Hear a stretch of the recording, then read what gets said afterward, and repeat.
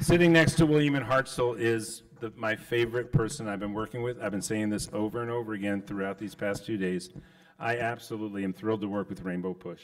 And we're going to be joined by Reverend Janette Wilson in a moment. But I do believe the next person we have has a heart out because she's one of the leaders of the country and the leader of the. Of we are so lucky to be living in a moment when Pramila Jayapal is one of the most influential leaders in the United States of America and in the House, in the House of Representatives. It is a blessing for the society and the world.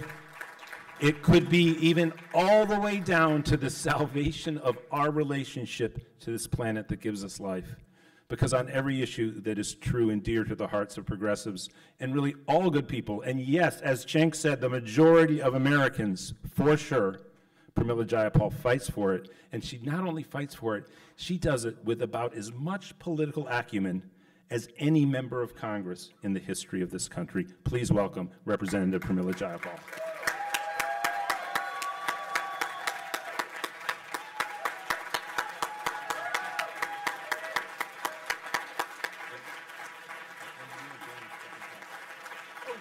But you have a heart out, so go for it. Progressives, hello, how are you? Are you ready to win this? Are you ready to win our progressive change? It is so great to be with you, and I want to thank Alan so much for all your leadership and PDA. Um, I was at Rainbow Push last night honoring the great Reverend Jesse Jackson, and I said, and I said up on stage that uh, really, Rainbow Push and what Reverend Jackson fought for was the precursor to the modern progressive movement. It was the intersection between racial, economic, and gender justice, and the movement that recognized that working people across this country deserve to be seen, deserve to be heard, deserve to be dignified with rights for everyone. And so I'm grateful to Rainbow Push as well. Um, we have accomplished so much as progressives, and we are getting ready to win in November. And when we do, when we do, we will accomplish so much more. And I want to give a special shout out to our Illinois Progressive Caucus members, Jonathan Jackson, Delia Ramirez, Jan Schakowsky, Chuy Garcia, Danny Davis. It's an amazing progressive delegation, and I know you're going to hear from some, and you already hear, heard from some, uh, from some but we couldn't do the work we do without these incredible progressive members. So thank you, those of you in Illinois, for sending those folks. Look, I'm an organizer. That's what I did for two decades before I came to Congress. I was actually never interested in being in elected office. I only decided to run for elected office because I realized that we have an organizing opportunity inside Congress that we have the opportunity to elect organizers who can build power within Congress.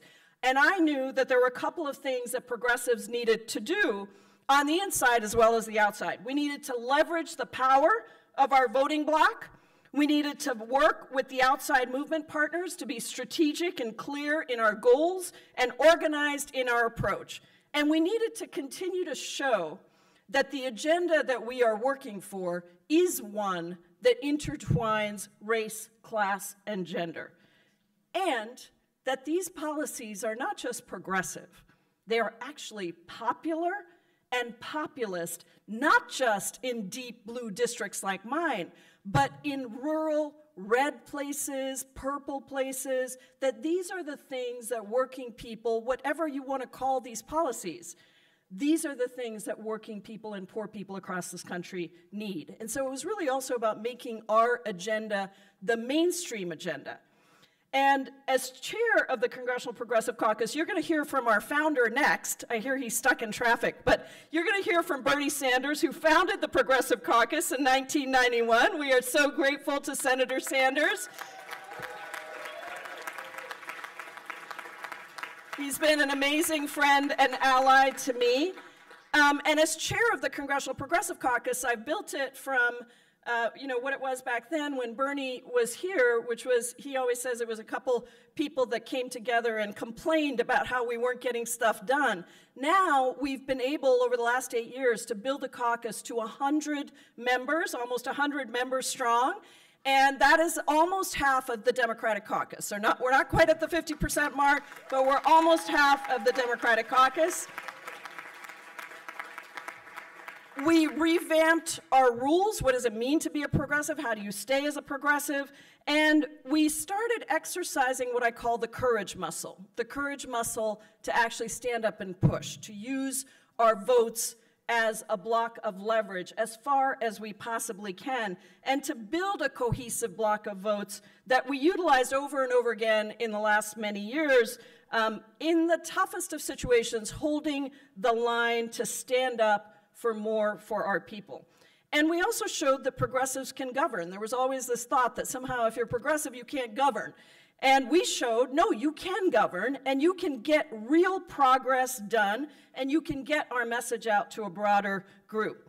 Now, we've also grown our Progressive Caucus PAC from just when I came in $300,000 uh, per cycle that we had to help elect progressives across the country to over $4 million now per cycle that we can help. And we're using it to try and elect more progressives across the country and to defend our incumbents. Now, I'll be clear. We have seen uh, the influence of big money. We have to get big money out of politics. That is the, that is the message. We got to do it. We have to make that happen. But I, I would just suggest to you that the reason that all that big money is coming in is precisely because they are afraid of how much we have achieved. And so this cycle, our PAC is proud to support a whole slate of new progressives, including LaMonica McIver and Sue Altman in New Jersey, Sarah McBride in Delaware, Lateefah Simon, Evan Low, Laura Friedman, Luz Rivas, Joe, Kerr, and Dave Min in California, and we're going to continue to grow that.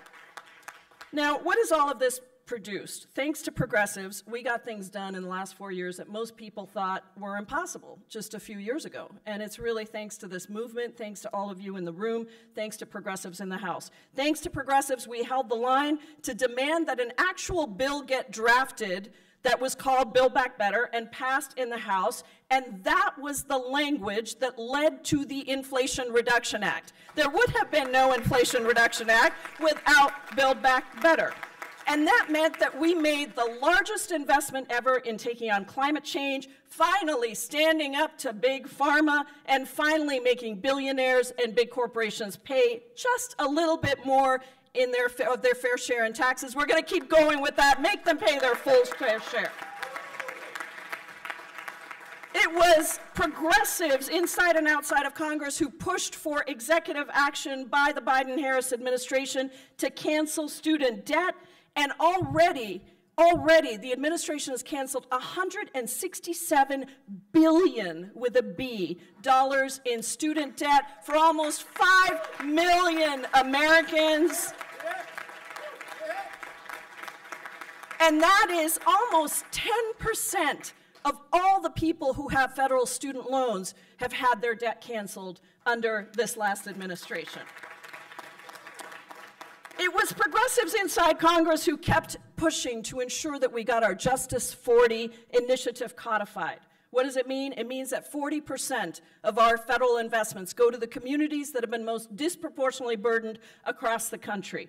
That is a massive sea change, and it was taking on our institutionally inequitable process. And it was progressives who held the line to demand that CHIPS funding does not go to companies who are doing stock buybacks, and it is progressives who continue to ensure that that is the case.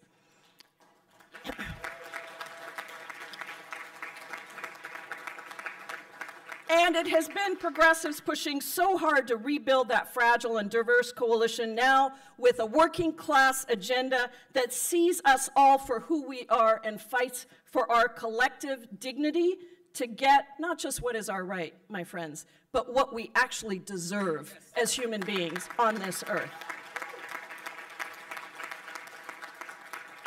And so that is why the Progressive Caucus released a day one agenda for 2025 when we take back the House and the Senate and keep the White House. And we worked closely with the Biden Harris campaign and now the Harris Walls campaign to make sure that we are ready to move that agenda forward. It calls for a $300 billion investment in housing because the rent is too damn high.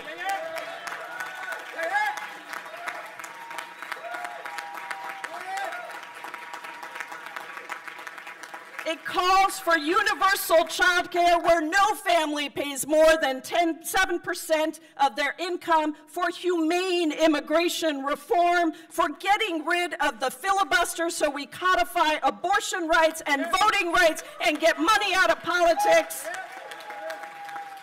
We raise the minimum wage. We continue to be aggressive on antitrust law, so we hold those big corporations accountable. And more investments in climate change. We fight for equality for our LGBTQIA community. We ban assault weapons so our kids can go to school and be safe.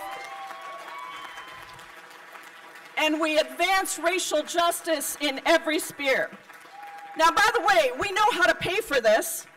We could just make the billionaires and the wealthiest corporations actually pay their fair share of taxes, and we will have plenty of money to do what we need to do. Because, my friends, we do not suffer as a country, we do not suffer from scarcity to be able to invest in these things.